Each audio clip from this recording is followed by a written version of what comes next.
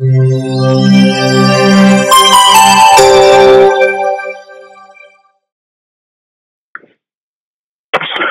again, ladies and gentlemen, this is Prince Dykes, the Prince of Investing, coming all the way live from the beautiful state of Honolulu, Hawaii, via Denver, Colorado. I like my new cup, huh? Thanks to my wife for that. But anyway, how you may be catching this, I want to say thank you guys for tuning in. But as always, I don't have a lot of time, and I definitely know you guys and girls don't have a lot of time, so we're going to jump straight into it. So today's video and topic is going to be about what are leveraged EV, ETFs. Leveraged ETFs. What are leveraged ETFs? So before we can talk about what are leveraged ETFs, I'm going to talk about what are ETFs in general, what are leveraged ETFs, and how they can be added to your portfolio to pretty much put your portfolio or your position or whatever you have on steroids. And we're going to talk about the advantages. Then we're going to talk about the disadvantage, and we're going to talk about how they kind of work. All right? So let's stay tuned. So first of all, let's talk about what I said. We're going to talk about what are ETFs. What are ETFs? First, ETFs are is, an acronym for exchange traded funds. Exchange traded funds are uh, exchange traded funds. Pretty much, you know what a mutual fund is, or you heard of a mutual fund. It's like a mutual fund. It tracks a particular entity. For a prime example, you have all types of ETFs out there. You have ETFs that track oil. You have ETF that tracks the retail market. You have ETFs that track the stock market. You probably heard me mention that in, in the in the past. ETFs, uh, you know, getting an ETF to track the S and P 500. You have ETFs that track indexes, all types of things. So what they pretty much are, they are in, they're pretty much you know how you have a basket. Let's say um, the S and P 500. You don't have enough money to go and buy every stock in the S and P 500. I'm not speaking to everybody. Maybe you do. Who knows? But let's say you're like, hey, I don't have enough money to buy everything in S&P 500, but how can I get some of the benefits and get some of the uh, uh, earn some of the returns that the S&P 500 earns? There are several ways to do that. You can do it via index fund. You can do it via mutual fund. You can do it via uh, ETF. All the ETF does is it's passive. All it does is it just tracks the S&P 500. When S&P 500 goes down, so does it. When S&P 500 goes up, so does it. When the S&P 500 stay the same, so does it. Unlike a uh, particular mutual fund, an ETF trades like a stock. When you buy into a mutual fund, you got wait till the end of the day, the last traded day. But an ETF, it prices moves daily, depending on what's track, what it is tracking. The defining difference is ETFs are passively managed, meaning that there's no manager back there trying to beat the market or beat something. All it does is track something. For prime example, um, you may have something called like B VOOG, B O O G. That's Victor Oscar Oscar um, Golf, meaning this is the Boo Vanguard's top S and P 500 growth stocks. So it picks out its growth stocks, or someone picks out the growth stocks inside the Vanguard S&P 500, and it just tracks those stocks. So those are the things I like to look at when I look at uh not a stock, but those are things I like look not to, like to look at. But it's kind of a general synopsis of what an ETF is. They still pay dividends. Um, their expense ratio is usually pretty low lower compared to a, a, mutual fund because a mutual fund you have a basket of stocks and you have someone actively managing them. They're buying, they're selling, they're doing this or whatever. Versus a ETF, it is just tracking whatever it's supposed to track. Hey, just track this particular index, track this particular industry, track these four or five stocks. That's it, right? So they have their way of. it's an easy way to be able to say, hey, for two hundred bucks, I can get the benefit of the whole entire stock market right? Versus just trying to get the whole entire benefit of just uh, you get the whole entire benefit of the entire stock market instead of trying to pay more fees because try to pay more fees to a mutual fund or on, like an index fund, you can buy and sell it rather, relatively easy, and it moves up and down like a stock. So I hope that doesn't confuse you too much, but that's what an ETF is, an exchange traded fund, right? Biggest big takeaways is it tracks something, It's uh, monitor. You know, you can do the S and P 500, all type of things like that. But one of the big takeaways is, is it trades like a stock. It's passively managed, and it's a way to be able to get benefit of an entire industry with just a purchase of one particular uh, security. So, also thanks to Education is Dope. Um, I think it's a local nonprofit raising five two eight zero on Facebook. So yeah, definitely thank them for uh, the shirt. Definitely appreciate it. Now back to the the the topic. Now, one of the things that they do is now that's the S and P five, uh, not the S and P five hundred, but that's the ETF, an exchange traded fund. Now we're going to talk about the advantages and disadvantages of an ETF. Some of your main advantages of a particular ETF is, you know, it trades easy like a stock, right? It trades easy like, hey, I can just go in, I can just buy something, I can buy something that tracks it. It kind of beats a mutual fund because a mutual fund uh, has more fees associated with it in most cases. And, you know, I can buy and sell it. Those are two biggest things. Hey, I can, I don't have to go and buy every stock in S&P 500. I can do that via ETF and be able to buy and sell it pretty fast, get dividends, all those great things, right? That's advantages. Disadvantages of an ETF. One of the disadvantages I noticed with ETF, and in particular with the uh, S&P 500 tracking the ETF, I mean tracking the S&P 500, is every time you buy it, it's a fee. Every time you sell it, it's a fee. So, prime example, let's say every month I buy uh, S&P 500. Um, every month I buy the S&P 500 ETF to get some of the stock market returns. Every time I go buy that, you know, I know you have some brokers that does it for free. Like you may have a Robinhood that has free trading or whatever the case may be, but most of them, like a you trade TD Ameritrade, most of the traditional brokers, they're going to charge you four or five dollars or six dollars or whatever the case may be every time you buy, and another six dollars every time you sell. So if you bought this thing every single month, that little six dollars add up, add up, add up, add up, add up, add up, and add up, right? But when you look at something, when you compare that to a particular index fund, um, you can get a commission-free index fund, fund, meaning that like a prime example, S&P 500, you have SWPPX, which is Sierra X-ray Papa Papa X-ray. If I'm not mistaken, that's a symbol. I think it's Charles Schwab's index fund for the S&P 500. And what that does is every time I buy that, I don't have to pay a fee. I don't have to pay a fee every single time I buy that. It's commission free. So then the expense ratio is a tad bit lower than that of the ETF, right? So I get a tad bit lower expense ratio, meaning more money in my pocket, not into the broker's pocket. And it's no commission every time I buy it. So let's say you have one person who buys an index fund every month, one person who buys an ETF every month, and they're both tracking the S&P 500. Let's say the person transaction fees are five dollars. Off of general, off the top, the in one year, a person is going to spend sixty dollars if they brought one ETF every single month or two ETFs or whatever the case may be. Because of the transaction fee every month, so that's five dollars times twelve, that's sixty dollars. Two years, that's a hundred dollars.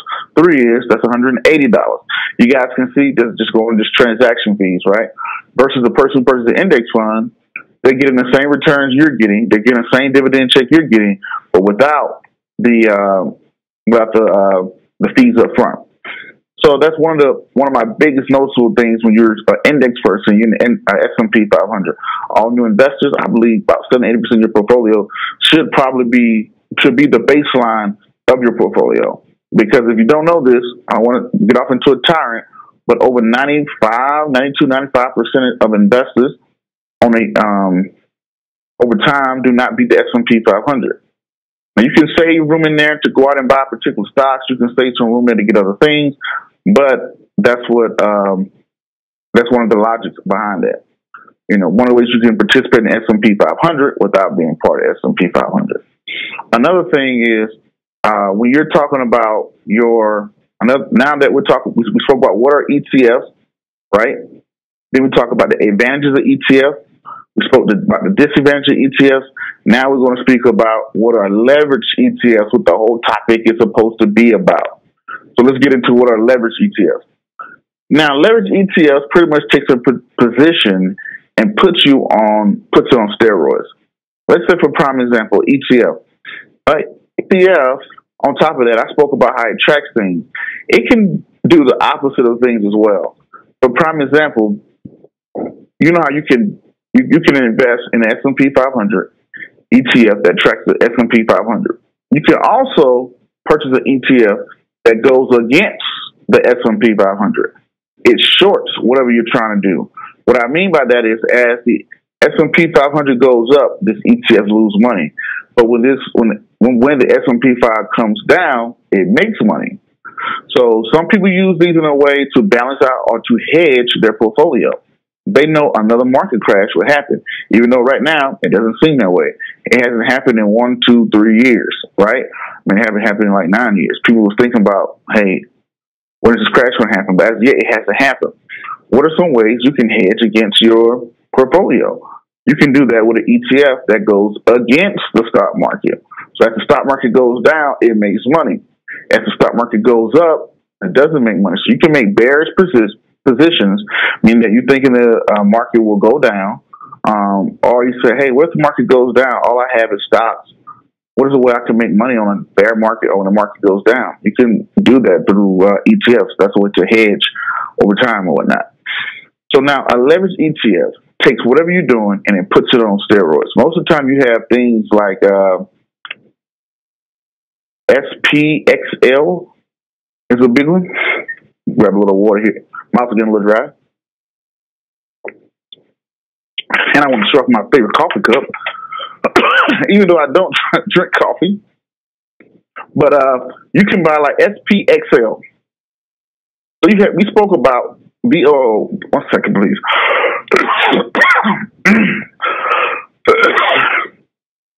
Sorry about that. A little water then caught up from my throat, a little one pipe. But the thing about it is like we, we have the VOO, which is the Vanguard S&P 500, right? To go against, you know, so as the S&P 500 goes up, VOO, Vanguard goes up. It just tracks the S&P 500 let's say if you want to leverage it, meaning that you want to, you say, hey, well, right now I got Vanguard S&P 500 is only up about six percent. That you know that's not very great to me. So I want to get more into what is you know I want to get a bigger bang for my buck. I really believe the stock market is going to go up, and you know how can I um, leverage myself? Now, things you can do, you can buy calls against the market. You can do all types of things like that and whatnot, leaps and calls and sell um, calls and sell puts, things like that. But one way you can achieve that is through a leverage ETF. For prime example, I challenge you to look up SPXL, Stan, um, Stanley, Stanley um, P as in Peter, X as in X, L as in Lima. What this does is, whenever the market goes up, this goes up three times as much as the market. What this instrument does is heavy on fees. It's one percent in expense ratio, but you got to understand why it has one percent expense ratio. Because this ETF, they're pretty much buying calls and leaps and futures. They're doing everything to be so bullish on the market that requires a lot of fees. When you're buying and selling calls and doing this, that's five dollars here, ten dollars here, twenty dollars here, thirty dollars. A high turnover ratio because they're betting the market is going to go up. So as the market, if the market goes up like last year, the market went up about twenty percent.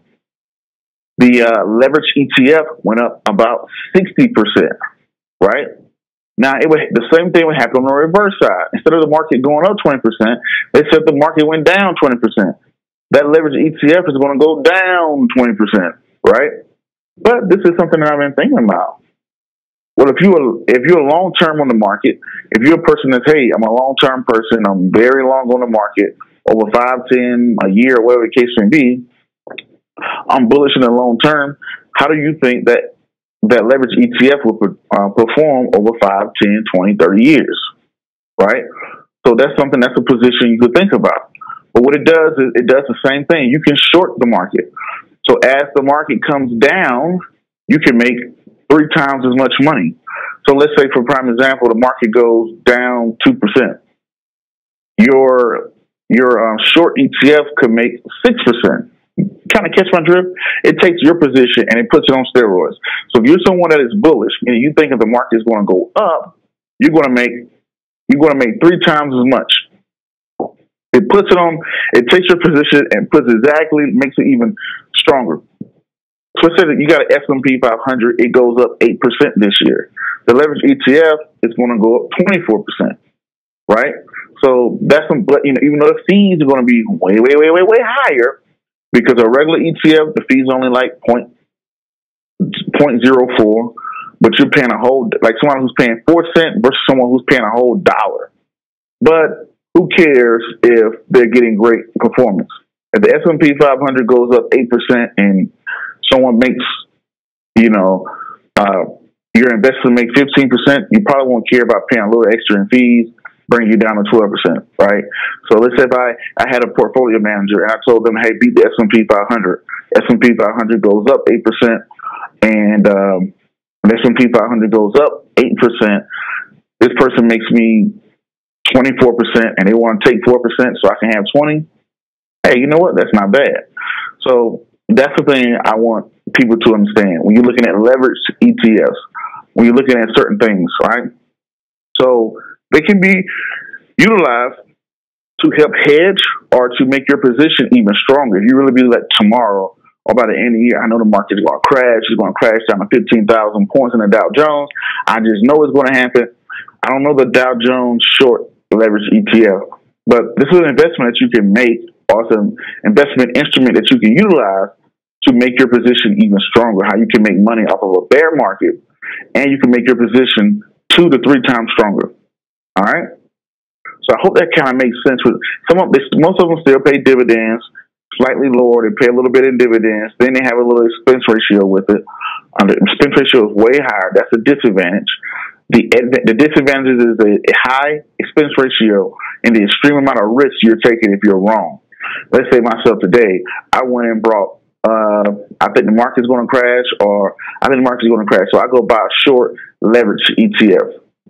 If the market continues to go up, not only am I going to miss out on the market returns, I'm also going to be paying every day that thing goes up. I'm going to be losing more and more and more and more money on my shorts.